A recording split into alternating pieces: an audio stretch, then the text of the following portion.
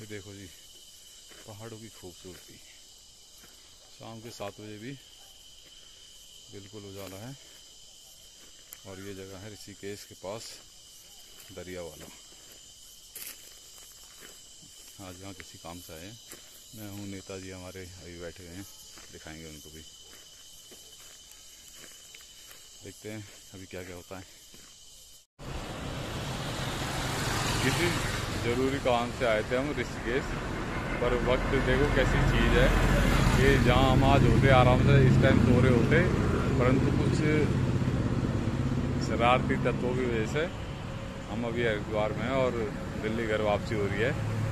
और एक एक हमारे प्रिय मित्र, हमारे भाई आ रहे हैं, चेयरमैन साहब।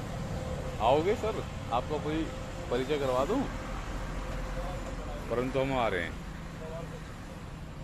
बैक टू दिल्ली रात के दो सत्तावन हो गए। ऋषिकेश की खूबसूरती देख ली और हमारे साथ एक बड़ा बढ़िया कलेश हो गया, इसलिए हम आ रहे हैं दिल्ली वापस। पता नहीं कौन सा, पंजाबी तड़का। इसके सामने रुके हैं। और अभी दिल्ली से करीब सौ किलोमीटर दूर हैं। सुबह तक पहुँच जाएँगे।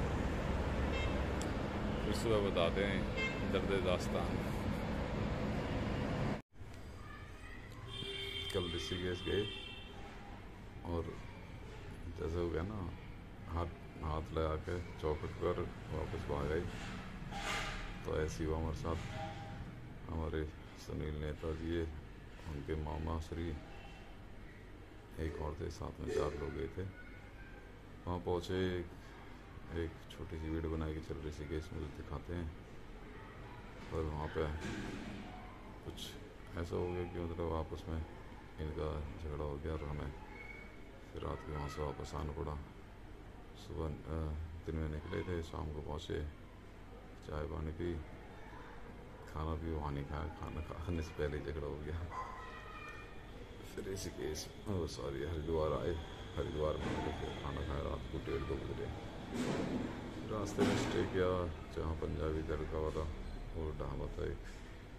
एक दो घंटा सोए, फिर सुबह पाँच बजे निकले। सात बजे घर आ गए थे वापस।